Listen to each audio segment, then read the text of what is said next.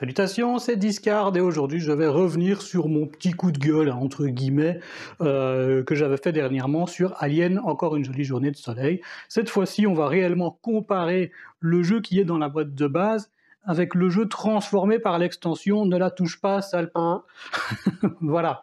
Euh, donc la question c'est est-ce que cette extension-là est indispensable? Vous le savez déjà, vous l'avez vu dans le titre, je vous le dis tout de suite, la réponse est oui, mais pourquoi? C'est parti. Donc voilà, ça c'est la première mission, la mission où il faut sauver Newt quand on n'utilise pas l'extension. Donc notre point de départ est là, hein, donc on apparaît dans un carré qu'on ne voit pas euh, comme ça, mais sur le, descriptif de la mission, on nous dit voilà, notre point de départ c'est ce carré -là.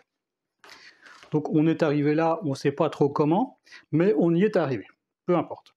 Notre mission c'est de sauver Newt, Newt c'est un de ces quatre points ici. Ces points-là, ce sont des échos, un petit peu comme ceux-là. Sauf que ceux-là, c'est ceux de la mission, mais en gros, ça fonctionne de la même façon. Dès qu'on les voit, dès qu'on a un champ de vision dégagé vers un de ces points, on le révèle. Ces deux là-bas, ce sont des échos radars, donc on sait que ce sont des aliens. Malheureusement, on ne sait pas combien. C'est la même chose ici, hein. donc sauf que un d'entre eux, ce sera Newt. Le but, c'est d'aller chercher Newt ici et de repartir vers la sortie. C'est tout. Ce qu'on peut faire éventuellement, c'est aller à l'ordinateur. L'ordinateur nous permet de vérifier une des zones en utilisant une action de compétence euh, tech. Donc l'idée, c'est peut-être d'envoyer quelqu'un pour vérifier ces deux points-là, pendant qu'il y en a un qui va à l'ordinateur et qui vérifie ces deux-là pour gagner du temps. Dès qu'on a découvert Newt, il faut après aller la convaincre de, nous suivre. Ça, euh, Hélène Ripley est plus à même à réussir à le faire, même si n'importe qui peut y arriver, mais c'est plus, compliqué. Parfois, il faut la piéger un petit peu dans un tunnel parce qu'elle a tendance à fuir les, les Marines, mais elle ne va pas fuir Ripley. Une fois qu'on a récupéré Newt, eh bien, on s'en va à la sortie et c'est tout. La première fois qu'on a testé cette mission, on y a joué à deux et on a réussi du premier coup, sans trop de difficultés. On a eu un mort dans l'équipe, mais c'était Gorman. Et euh, bon, Gorman a beau être le plus haut gradé de l'équipe, c'est aussi le, plus mauvais, c'est le moins intéressant de nos personnages, donc on se dit, ouais, tant pis, on recommence pas, c'est bon. Et on a, on a eu vraiment facile. Alors, on voit qu'ici j'ai mis une exprès pour indiquer euh, bah, on commence évidemment en manche 1. On va commencer à piocher des cartes de détection, donc c'est des cartes qui vont faire popper de nouveaux aliens, qu'à partir de la manche 4. D'ici à ce qu'on arrive à la manche 4, euh, normalement peut-être qu'on a même déjà récupéré Newt, en tout cas on n'est pas loin. Et ensuite, une fois qu'on est à la manche 4, on va commencer à faire apparaître des aliens, mais les cartes sont rangées de façon à ce que les 10 premières cartes ne soient pas des, des, trop grosses cartes. En fait, il y a des cartes de niveau 1, niveau 2 et niveau 3, et les 10 premières cartes seront forcément des cartes de niveau 1 et 2 mélangés. Donc il y a 5 cartes de niveau 1 et 5 cartes de niveau 2 mélangées. Donc on pourrait très bien piocher directement une carte de niveau 2, mais à aucun moment on pourrait piocher une carte de niveau 3 avant un bon moment. Bon, vous voyez un petit peu la map. Il n'y a pas de barricade, il n'y a pas beaucoup de déco déjà sur la, carte. Newt est forcément dans cette salle-là, on a compris. Je vais maintenant faire la mise en place de la même mission, hein, toujours la mission Newt, mais avec l'extension. Première chose, on remarquera que le plateau est quand même nettement plus grand. Il faudra peut-être penser à une table plus grande, puisque le, plateau ne prend plus 4 plateaux, mais 6 plateaux. C'est déjà une belle différence. Newt se trouve cette fois-ci soit dans cette salle-ci, ce point-là ou ce point-là, cette salle-ci avec ce point-là, ou éventuellement là-bas si on a de la chance. L'ordinateur, lui, il est ici, et on est très loin de l'ordinateur puisque notre point de départ, c'est là-bas, à côté de notre vaisseau, ce qui est complètement normal. On remarquera qu'on n'a plus deux éco-radars quand on arrive, mais quatre. Hein. On en a directement dans la salle où on arrive, il y en a deux. Il y en a un ici et il y en a un là. Ça veut dire que dès le début de la partie, il va peut-être falloir penser à éliminer celui-là et celui-là. Et autre chose se voit peut-être pas comme ça, mais qui aura son importance, c'est que la plupart des portes sont barricadées. On le voit peut-être pas bien, je vais les bouger un petit peu, mais on a des barricades sur tout un tas de portes. Alors, ouvrir des portes barricadées, ça va nous demander de réussir euh, une action de, tech. Donc déjà, on va utiliser une de nos actions pour ouvrir la porte, pour tenter de l'ouvrir, et il faut encore qu'on y arrive. Donc on va perdre du temps. La pioche, ça n'a pas changé. À partir de la quatrième manche, on va commencer à piocher des, aliens. Alors cette mission-là, on l'a testée, mais on était à 3. Alors peut-être qu'à 3, c'est plus difficile, parce qu'à la fin des manches où on pioche des cartes de détection, donc celles qui font apparaître des aliens, on en pioche une non, c'est pas une par joueur, mais à partir du moment où on est trois, on en pioche trois. Je crois qu'à en fait à un ou deux joueurs, on en pioche deux. À trois ou quatre, on en pioche trois Ça doit être quelque chose comme ça. Toujours est-il que nous, on était à 3 et il fallait en piocher 3. Donc on arrive bien sûr plus vite aux cartes euh, compliquées. On a fait deux essais, on a raté les deux fois. Alors la première fois, un des joueurs a voulu prendre... Euh, comment il s'appelle? Bishop. Parce que Bishop est un des nouveaux personnages de cette extension.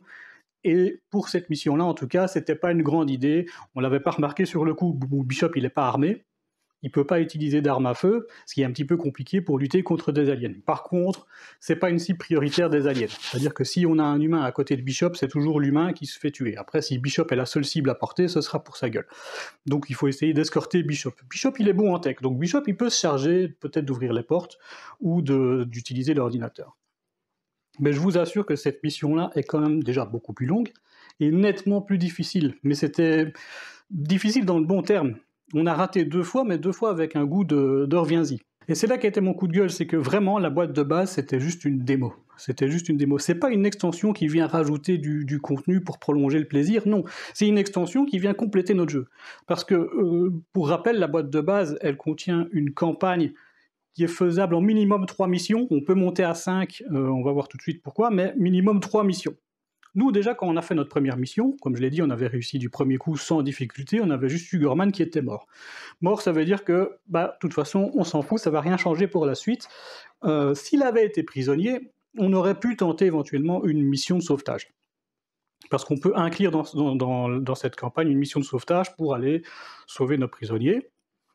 Et si on a utilisé trop de cartes endurance, on peut aussi faire une mission de réapprovisionnement pour aller se rechercher des cartes. Euh, là, quand on a réussi la première fois, on n'a presque pas utilisé de cartes euh, endurance, hein, parce qu'à la fin de partie, de toute façon, on en récupérait. On n'a presque rien perdu. On s'est dit, bah, on va largement faire toute la campagne avec ce paquet si on continue comme ça. Pour finir, on l'a pas fait parce que je me suis dit, non, mais attends, je vais, aller chercher l'extension et euh, on, fera la campagne directement avec l'extension. Et je pense que j'ai bien fait. Ici, comme je vous l'ai dit, on a raté la première fois. Bah, en fait, on s'est retrouvé dans ce tunnel-ci, enfin dans ce couloir-ci, on avait été chercher Newt, euh, qui était, euh, peu importe où est-ce qu'elle était, on était coincé dans ce tunnel-ci et on a pioché une grosse carte euh, de, de détection qui faisait apparaître trois aliens sur chaque point d'apparition et sur chaque tunnel. Donc on avait trois, trois échos qui sont apparus ici, là, là, ici, et on avait des, tunnels dans le, dans le couloir qui étaient apparus. Donc on a eu des aliens, vraiment trop d'aliens qui ont popé en même temps dans le couloir. On s'est fait défoncer. C'était pas de chance. Mais là, au deuxième essai, quand on n'a plus pris Bishop et que le Bishop avait quand même l'avantage de nous aider à recycler les cartes. Hein. Donc ça, je ne vais pas expliquer trop maintenant, mais en fait, plus on utilise des cartes endurance, ben, plus on s'épuise. Et Bishop peut nous aider à les récupérer, donc on, se remet bien.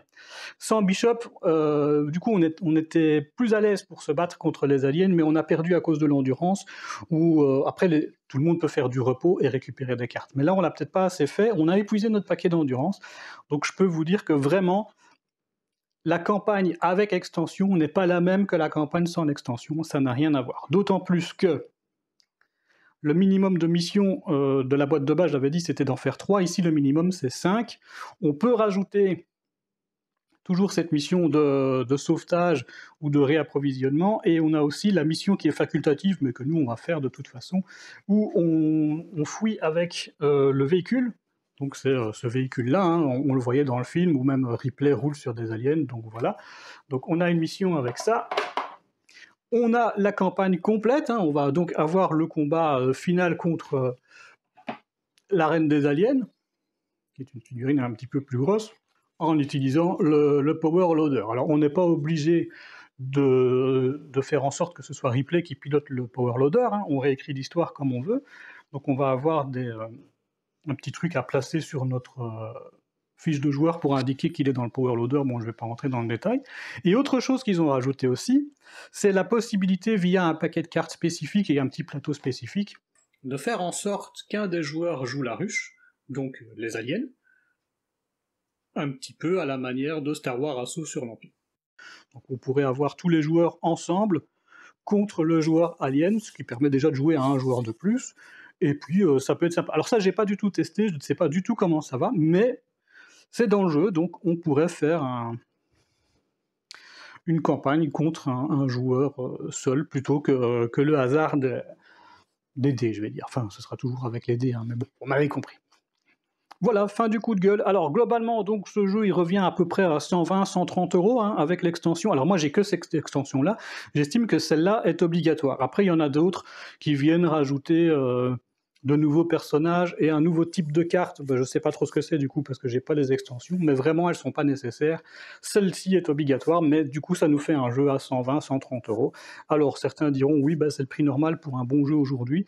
Peut-être, mais là euh, je rappelle qu'il faut quand même monter nous-mêmes les figurines. Hein. Il faut les, découper sur euh, la grappe, il faut les coller, les monter. En général, les jeux à 120, 130 euros, on a des figurines euh, déjà faites. Mais bon, c'est tout. C'est vraiment du détail. L'important au final, c'est que le jeu est vraiment excellent. J'étais fan, je le suis toujours, hein, du Terminator, je vous en ai beaucoup parlé, Terminator est un de mes jeux préférés dans toute ma ludothèque, je parle du Terminator Genesis, de toute façon euh, j'en ai pas d'autres. Celui-ci est aussi bien.